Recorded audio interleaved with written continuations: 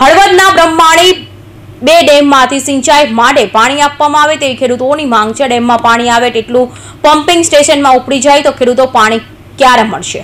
હળવદ પંથકમાં આગોતરું વાવેતર કરવા માટે હળવદ ધાંગધ્રાના ધારાસભ્ય પ્રકાશભાઈ વરમોરા દ્વારા નર્મદા કેનાલ ચાલુ કરવા માટે રજૂઆત કરવામાં આવી હતી, જેને અનુસંધાને ત્રણેય કેનાલ શરૂ તો થઈ ગઈ, પરંતુ ખેડૂતોના કહેવા અનુસાર બ્રાહ્મણી બે ડેમમાં બેતાલીસ મીટરનું લેવલ થાય ત્યારબાદ ખેડૂતો માટે પાણી છોડવામાં આવે. પરંતુ જેટલું પાણી આવે છે, તેટલું જામનગરને પીવા માટે પમ્પિંગ સ્ટેશન દ્વારા ઉપડી જાય છે. હાલ અત્યારે વાવડીની સિઝન હોય, ખેડૂતોને તત્કાલીન પાણી આપવામાં આવે તેવી હળવદ તાલુકાના નવા ધનાળા, સુરવદર, મયુરનગર, જૂના દેવળિયા, નવા દેવળિયા, પ્રતાપગઢ સહિતના ખેડૂતો માંગ કરી રહ્યા છે. વધુમાં ખેડૂતોએ જણાવ્યું હતું કે કેનાલમાં વધુ પાણી છોડવામાં આવે અથવા થોડા દિવસ પમ્પિંગ સ્ટેશન બંધ કરી ખેડૂતોને વાવેતર માટે પાણી આપવામાં આવે તેવી ખેડૂતોની માંગ છે. Ramesh Thakor, Hind TV news, Halvad.